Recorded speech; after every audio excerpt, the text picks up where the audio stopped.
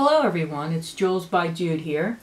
And today I have a little special project that we're going to do and I'm going to show you a few things that we're going to do it with.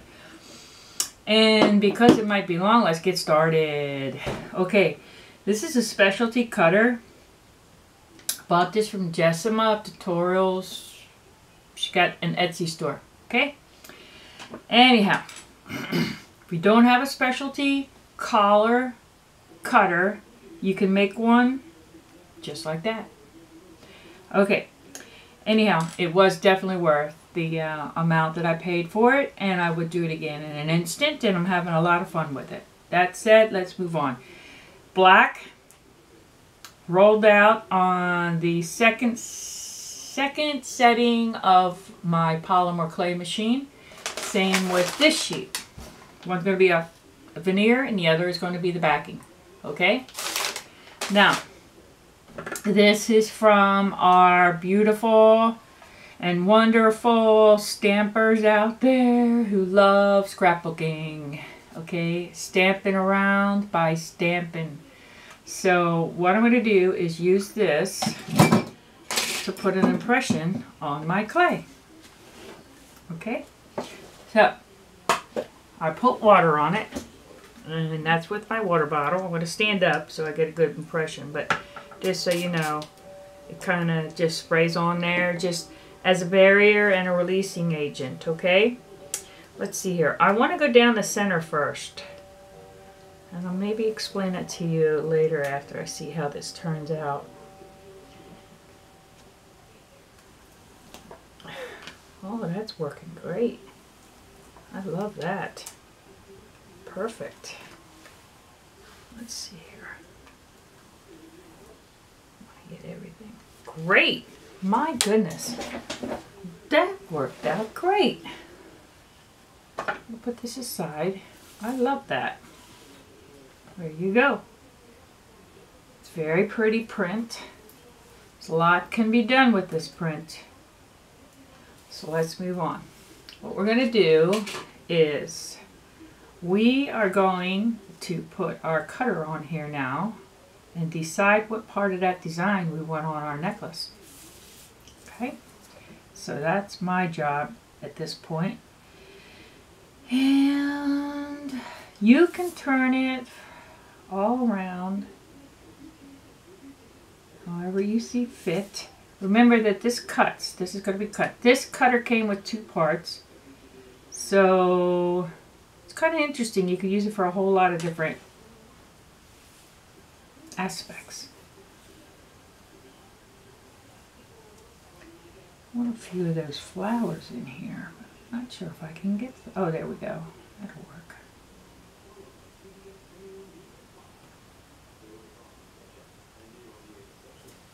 So I'm looking here, here, here, and here. Not there.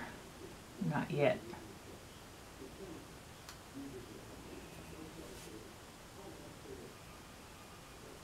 flower there, here. in there? Yes. Alright, are almost there. Want make sure once you do decide that everything is, this cutter is on that clay. Sometimes I, you know, get into, absorbed into the design and trying to see what I want in my collar or cutter and I'm not on the clay. Alright, here we go. I'm standing up and I'm going to push my plexiglass block on my cutter. I'm not pushing hard. This is this is this clay is rolled out. It's uh Premo. It's rolled out on the second thickest setting on my machine.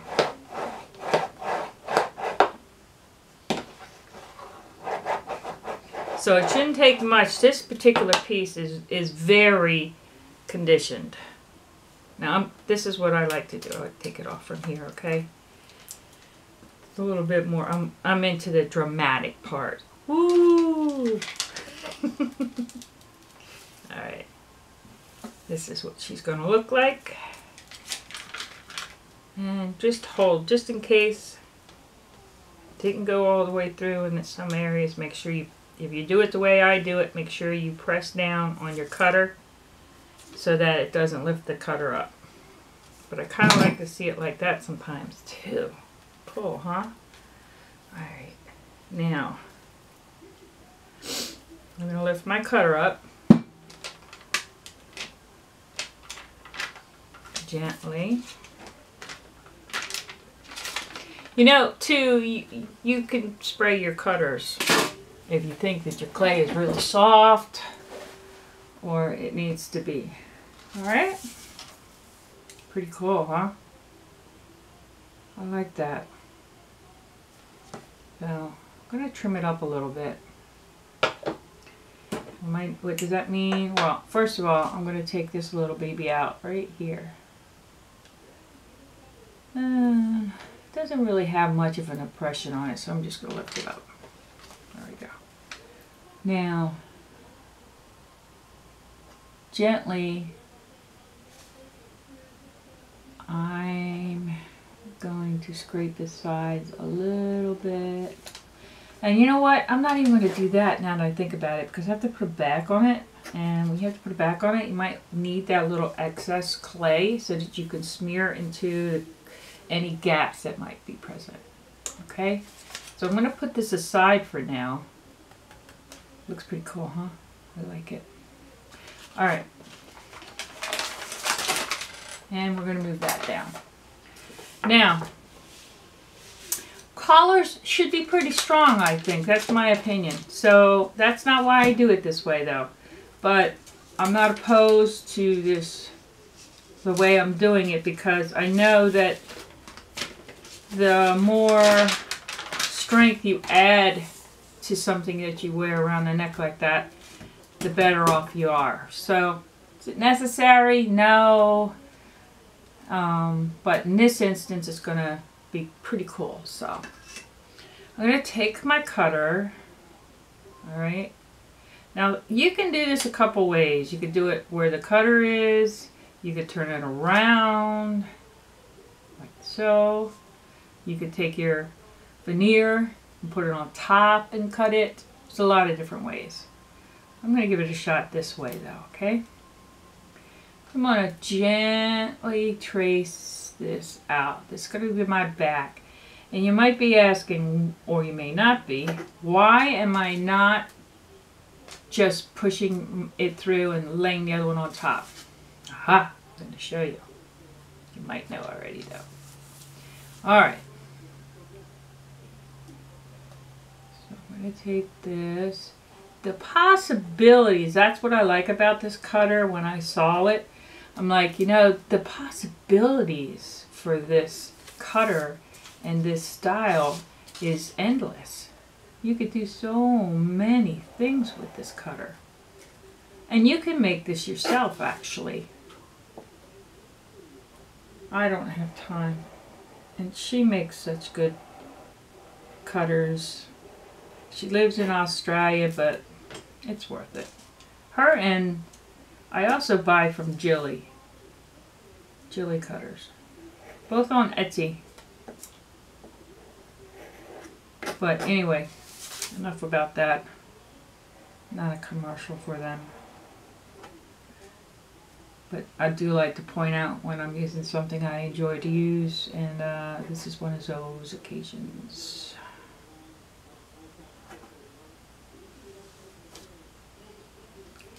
Yeah. I just mean you can use mica, which I might. I probably will actually on that one. Or bring those flowers out beautifully. Or you can use paints, alcohol paints, acrylic paints, PBO paints, which oh, I wish I could use those in a lot more things. Those PBO paints are awesome.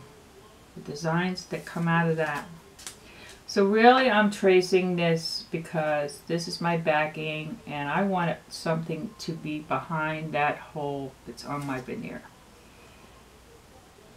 I am about to show you what I mean by that.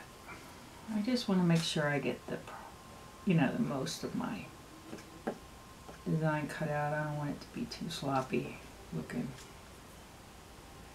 And anyways, it'd be less work for me afterwards.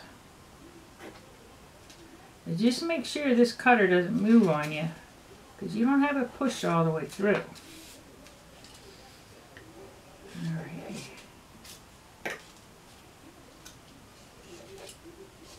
There we go.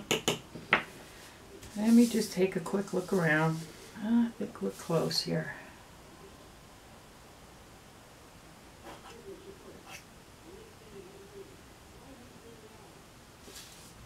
Alright. I am satisfied with that, amazingly. So that is what she looks like now. No hole.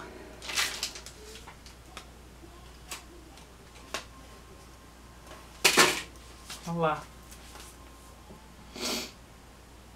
Now, bring this one down and hole. See it? I'm going to pick this piece up and place it on top of this piece and the magic happens. I need to carefully place this on top of its back.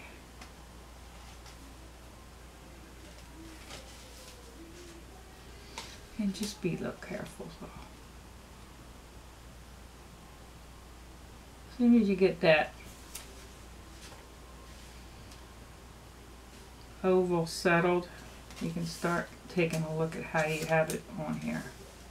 And is this the way I want it kind of thing. Know, a lot of times I find when I've been working with this this past week is adjusting these in the back back here, these uh, this section that curves around the neck is the biggest one of concern. Okay. Straighten out your point because you don't want to mess that up, all right? Now, begin to smear. Everybody should be familiar with that. Try not to put too many prints on it. I'm real bad about that. I put my fingers on everything. like, ah. A little support there by putting your other hand on the side of it like that. And let's see here. Let's get some of that junk off of there. If you at least you see it lifting somewhere, that's where you want to press a little bit. Okay. There you have it. For the most part. Now what you're looking at is a collar. Cut fairly well, if I must say so myself. And you have a section in here. What do you want to do with that? You want to put a stone in that? You want another another piece of clay in there? Do you want to fill it with paint? Do you want to fill it with uh, stone chips? Do you want, want, want? All right. So here's probably what you want to do right now is now I have a mandrel that I'm going to place this on and I'm going to show you that way and I'm willing to bet that if you get real creative you can create something similar to that that you can place on or you can just leave it this way. I wouldn't recommend that though. You need a little curvature around the neck and, you know, underneath. So I've seen a lot of people roll things and place them under that so that it slopes down. So I'm going to show you a little prized item I have here that I thought would come in handy no matter what project I work with pertaining to jewelry in the sense of a mandrel. Okay? Now, that piece of hair down there. There she is. And you can decide for yourself how far down is she. So let me just fix her a little bit. There go. There we go. Perfect. Well, not perfect, but there. Alright. one thing for sure, you, you use an apparatus like this, you need to make sure that everything is touching there. The metal. Okay? In all, all instances. Because it'll bubble up, bobble up. It needs to be pretty much, and you can see that when I am pushing it, that it is indeed up. But that's your job. You take it like this. You see there's a space there? Nope. You need to press that down. It needs to touch that metal. Okay. Next thing is this crease inside the uh, on the side here. Now, what I would like to do is just smear some of that out. Okay. And that's what I'm going to do before I put it in the oven. It's going to go in the oven. Not the toaster oven, the real oven. I'm going to put it on a cookie sheet I'm going to put a piece of foil lightly draped over top of it and I'm going to cook it for 275 for about 45 minutes to an hour and then I'll be back. Oh, by the way, I'm not going, well, I don't know, maybe I should. Nope, I'm not. I'm not going to put any mica or anything on the outside right now I'm trying for some reason to get a matte finish and then decide what goes inside. You don't have to decide that now. You can put it in later. And that's what I'm going to do. So once again, I am going to bake this. After I smear the edges, see that's lifted up again. After I smear the edges, make sure everything is pushed down against my metal. 275, 45 minutes to an hour. I'll be back.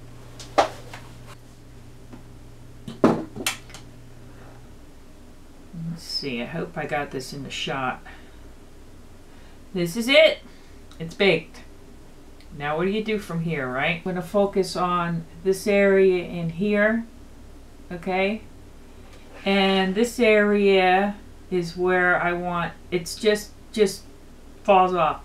Now, what I'm going to do here, I think, is put maybe a braid or just a tube-like uh, snake around the the um, cabochon area, the edge, and then that way it will look like it has a decorative bezel around it here.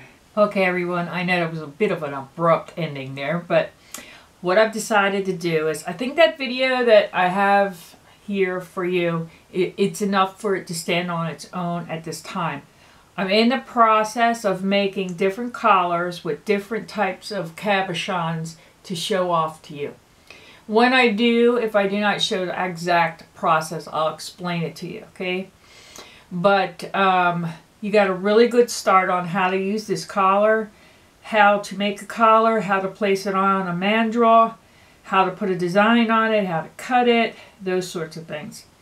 The rest of the ideas and the designing aspects can either come from you or when I'm ready, I'll show you the different colors that I have and I've made because I'm really looking forward to finishing some off. But I fear that my little particularities there about how this is, how that is. Uh, I'm real particular about that. So I really take my time with some of that stuff. And when I get them done, I'll show them to you. But this is a really good start. And I think that um, if you go back and look at some of the videos that I have, you will be able to create your own and have your own ideas with that. But I do intend on showing you some more. So this is Jewels by Jude. Uh, if you like the video, press like if you like it, share it, and please, by all means, subscribe. Thanks. Have a blessed day.